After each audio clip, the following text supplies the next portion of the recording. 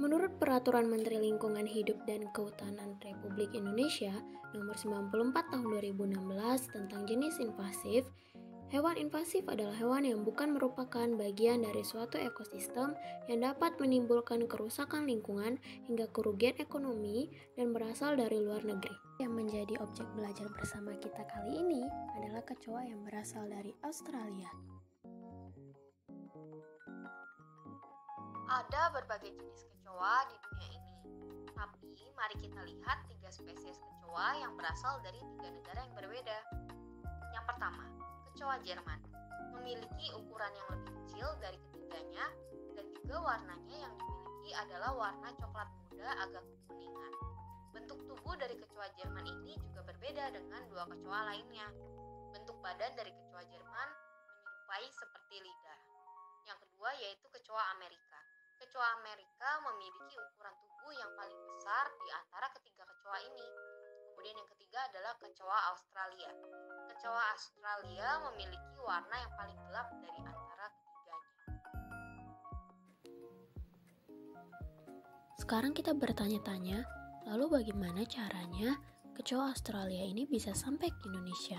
Nah, kemungkinan terbesar adalah bahwa kecoa ini terbawa masuk secara tidak sengaja oleh benda-benda lain seperti kapal ataupun beberapa alat transportasi lainnya. Karena kecoa ini sangat mudah terbawa kecil dan pastinya bisa bersembunyi di balik barang-barang bawaan yang ada pada kapal. Nah, kemampuan kecoa untuk bisa beradaptasi dan cepat dan reproduksi yang cepat membuat kecoa ini bisa menjadi hewan invasi di Indonesia.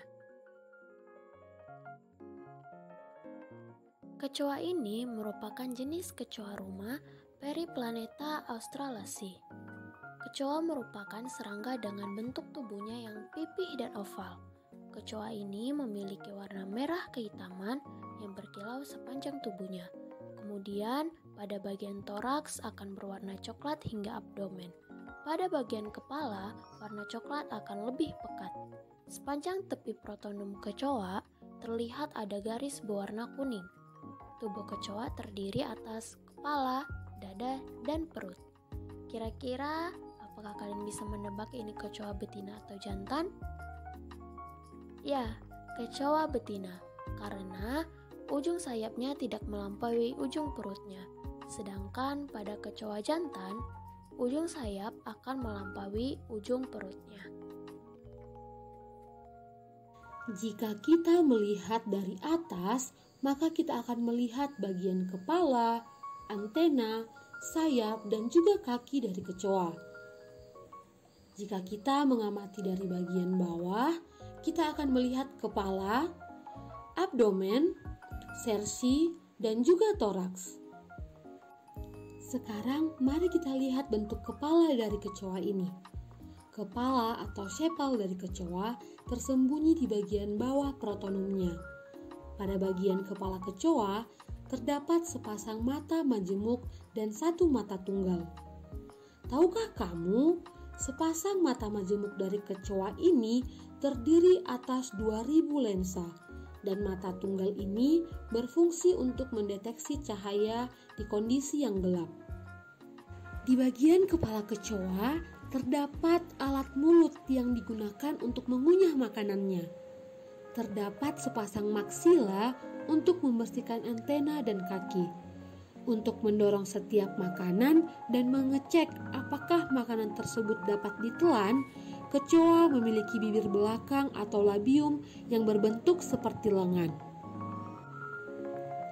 Jika dilihat pada video ini, kita dapat melihat kecoa tersebut menggunakan dua labiumnya untuk memasukkan makanan ke dalam mulut.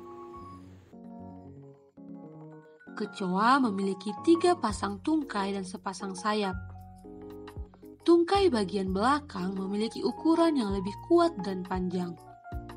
Tungkai kecoa ini dilengkapi dengan rambut di sepanjang kakinya yang berfungsi sebagai alat peraba. Terdapat lempengan besar yang menutupi dasar kepala dan sayap kecoa yang disebut yang protonum. kita akan melihat mengenai bentuk antena dari kecoa. Seperti kita ketahui, setiap kecoa memiliki sepasang antena yang kira-kira panjangnya itu sepanjang dengan tubuhnya, yaitu kurang lebih 40 mm dan terdiri dari 140 segmen. Segmen proksimal pertama dan kedua disebut sebagai scape dan juga pedicel, serta segmen distal sisanya secara kolektif disebut sebagai flagellum. Setiap segmen akan terhubung ke segmen-segmen lainnya melalui sendi yang sangat fleksibel.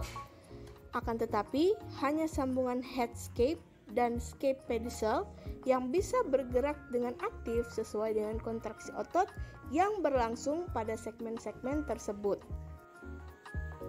Pada bagian abdomen atau perut dari kecoa merupakan bagian yang digunakan untuk tempat reproduksi. Dari ujung abdomennya terdapat sepasang sersi yang berperan sebagai alat indera. Sersi ini berhubungan langsung dengan kaki ganglia saraf abdomen kecoa untuk adaptasi pertahanan. Jadi, apabila kecoa merasakan adanya gangguan pada sersi, kakinya akan langsung bergerak lari sebelum otak menerima tanda atas sinyal.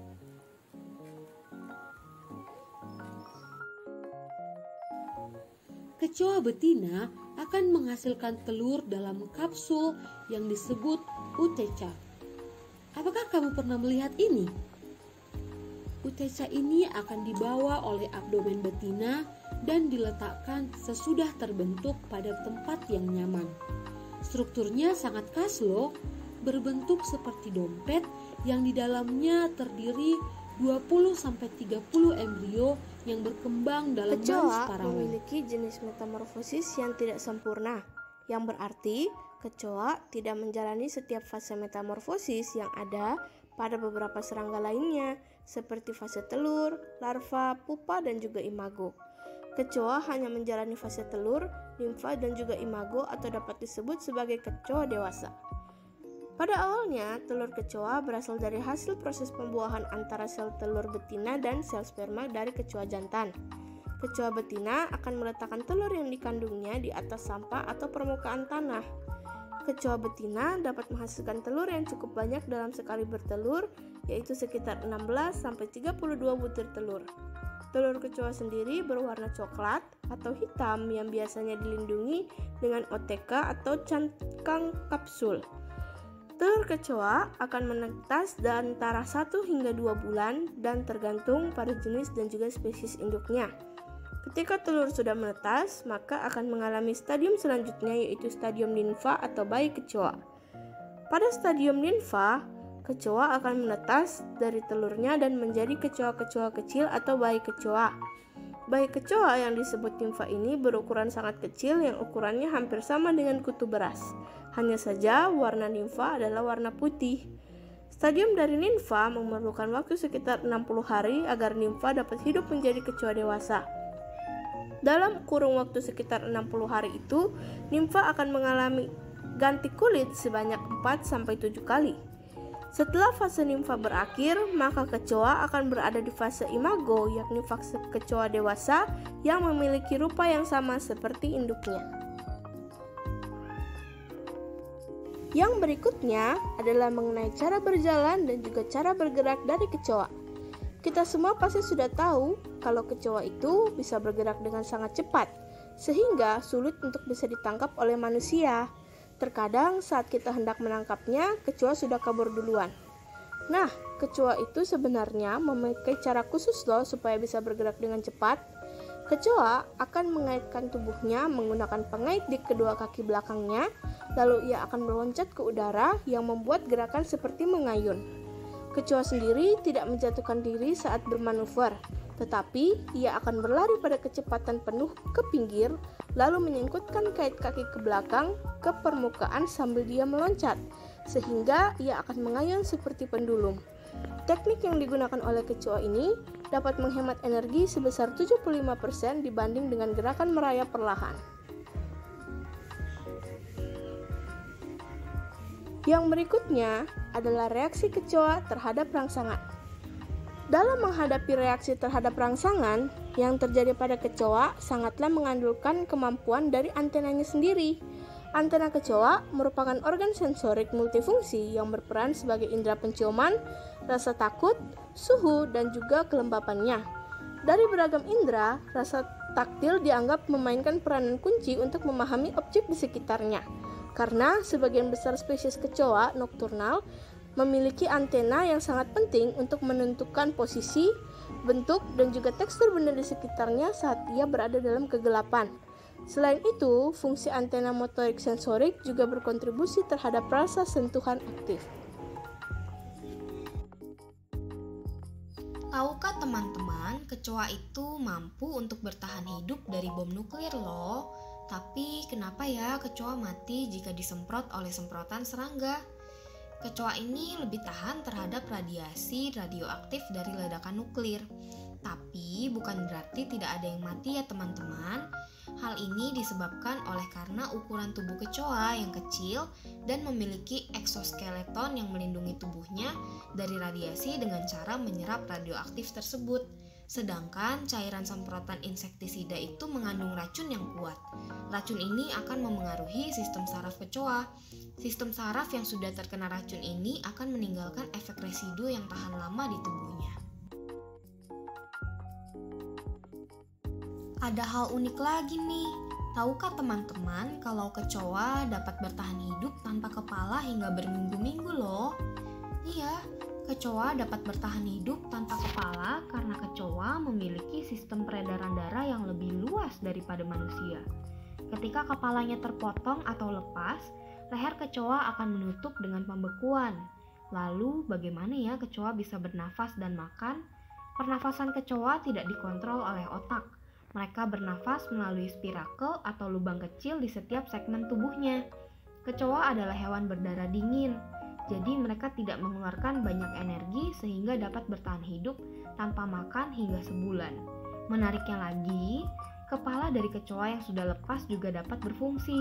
Kepalanya dapat menggerakkan antena selama beberapa jam sampai pada akhirnya akan kehabisan tenaga. Kecoa terdiri dari tiga bagian, yakni kepala, dada, dan juga perut.